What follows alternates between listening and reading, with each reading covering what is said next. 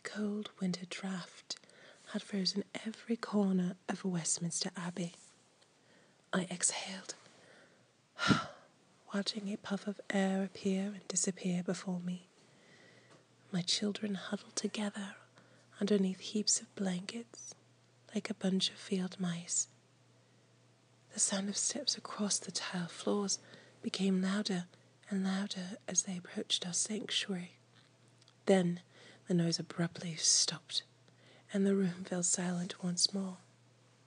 By the order of King Richard, you must surrender the princess, declared a cruel voice behind the door. My eyes fell on the boys, whose eyes held the horrors of what was to come.